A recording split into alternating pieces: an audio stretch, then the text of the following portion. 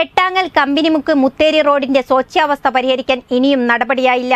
റോഡിന്റെ അവസ്ഥയുമായി ബന്ധപ്പെട്ട് പൊതുമരാമത്ത് വകുപ്പ് മന്ത്രിക്ക് പരാതി നൽകി ഒരു മാസം പിന്നിട്ടിട്ടും നടപടിയില്ലാത്ത സാഹചര്യത്തിൽ ശക്തമായ പ്രക്ഷോഭത്തിനൊരുങ്ങുകയാണ് നാട്ടുകാർ. കെട്ടാങ്ങൽ കമ്പനിമുക്ക് മുത്തേരി റോഡിന്റെ സ്വച്ഛാവസ്ഥയ്ക്ക് പരിഹാരം കാണണമെന്ന ആവശ്യമാണ് ശക്തമാവുന്നത്. വാഹനയാത്രക്കാർക്ക് പ്രത്യേകിച്ച് ഇരുചക്ര വാഹനങ്ങൾക്ക് വലിയ ഭീഷണിയായി മാറിയ നിരവധി കുഴികളാണ് റോഡിൽ രൂപപ്പെട്ടത്. സംഭവവുമായി ബന്ധപ്പെട്ട് മന്ത്രിക്ക് പരാതി നൽകി ഒരു മാസമായിട്ടും പരിഹാരമായില്ലെന്ന് നാട്ടുകാർ പറയുന്നു.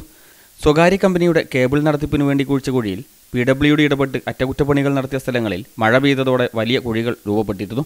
ഇതുമായി ബന്ധപ്പെട്ട് കഴിഞ്ഞ ഇരുപത്തി പൊതുപ്രവർത്തകനായ ഷെരീഫ് മലയമ്മ പൊതുമരാമത്ത് വകുപ്പ് മന്ത്രി പി എ മുഹമ്മദ് റിയാസിന് പരാതി അയക്കുകയും ചെയ്തിരുന്നു. അതിന് മറുപടിയും ലഭിച്ചു.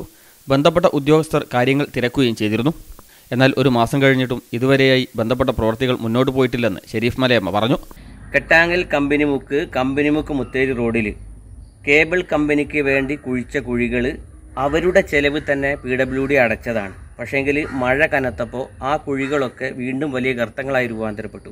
അതിന്റെ ഭാഗമായിട്ട് പല ആളുകളും പല സ്കൂട്ടർ യാത്രക്കാരും ആ കുഴികളിൽ പെട്ട് അപകടത്തിൽപ്പെട്ടപ്പോൾ ഞാൻ അന്ന് ജൂലൈ ഇരുപത്തിയാറിന് വകുപ്പ് മന്ത്രിക്ക് പരാതി അയക്കുകയും അതിന് അദ്ദേഹം മറുപടി തരികയും ബന്ധപ്പെട്ട ഉദ്യോഗസ്ഥന്മാരൊക്കെ ബന്ധപ്പെടുകയും ചെയ്തു. പക്ഷേ ഇതുവരെ ജൂലൈ കഴിഞ്ഞ് ആഗസ്റ്റ് സെപ്റ്റംബർ ആയിട്ട് ഈ സമയം വരെ അതുമായി ബന്ധപ്പെട്ട നടപടികൾ ഉണ്ടായിട്ടില്ല.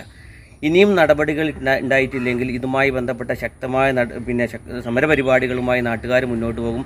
പലപ്പോഴും പല വാഹനങ്ങളും ഈ കുഴികളിൽ വീണ് അപകടങ്ങൾ ഉണ്ടായിട്ടുണ്ട്. ഇനി ഒരു ജീവൻ ബലി കൊടുക്കണമോ?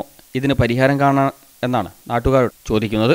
പ്രശ്നത്തിന് ഇനിയും തീരുമാനമുണ്ടായില്ലെങ്കിൽ ശക്തമായ സമരപരിപാടികളിലേക്ക് നീങ്ങാനുള്ള തയ്യാറെടുപ്പിലാണ് നാട്ടുകാർ. News bureau Mukkam.